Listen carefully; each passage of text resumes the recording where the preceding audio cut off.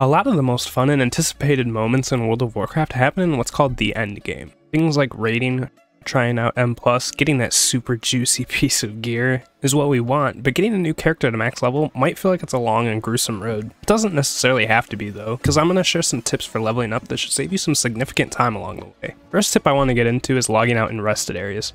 Rested areas are usually cities or inns and will be indicated by these flowing Z's above your character's portrait. Spending extended periods of times in these rested zones accumulates rested XP, even when you're offline, hence why we want to log out here. Rested XP turns your XP bar blue and gives you double XP for the things that you kill, like mobs in a dungeon or while you're on a quest. So if you can remember to log out in these rested areas, you can save yourself some serious time over the course of those 70 levels. The next tip I should go into is heirlooms. If you have a good amount of gold to spend, I would consider getting heirlooms or upgrading them. They're around 500 gold a piece, but you can upgrade them with more gold in increments at a time if you want. Basically, heirlooms level with you, so you never have to replace gear. You can avoid that awkward situation where you have like level 13 pants on a level 43 for a while. But they also have a super nice set bonus that comes with them, and it consumes up to 30% less of that succulent rested XP that we mentioned earlier. This just means that you'll have more uptime on the rested XP. I should also mention that there's a guild heirloom vendor and a PvP one as well if you're really trying to get fancy or if you're really wanting specific stats stats or effects. Once you buy the heirloom, they are account bound, so all your characters can access them. All you have to do is hit Shift In the game, and then click on the heirloom tab, and then here you have a list and can sort by class or spec, and then it shows the level that they cap out at. To make one, all you have to do is click on it, and it'll craft it into your bag. You can make as many as you want completely free. There's no limit or mats required, so don't worry about wasting or messing one up ever. This tip is for the dungeon spammers. One of the best timelines to spam dungeons for is the Burning Crusade timeline.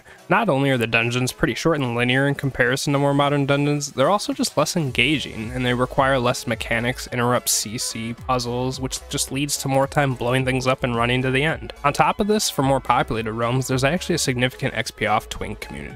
How does this help? Well, these Burning Crusade timeline dungeons also have some of the best twink gear with all the sockets they offer on pieces that usually don't get sockets. These gear pieces in combination with some strong scaling you get at level 10 allowed some twinks to easily burn through these dungeons within a couple of minutes, letting you get that dungeon completion experience bonus at the end very, very quickly. And my last tip for you guys today is to quest. Now you might be thinking, but didn't you just say spamming Burning Crusade dungeons was really good? And you're right, yes, they are.